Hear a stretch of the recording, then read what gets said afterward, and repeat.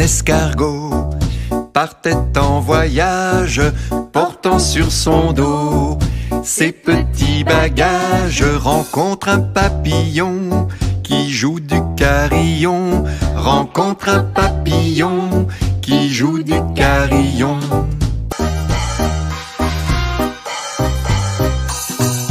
Un escargot partait en voyage, portant sur son dos ses petits bagages, rencontre un oiselet qui joue de son sifflet, rencontre un oiselet qui joue de son sifflet.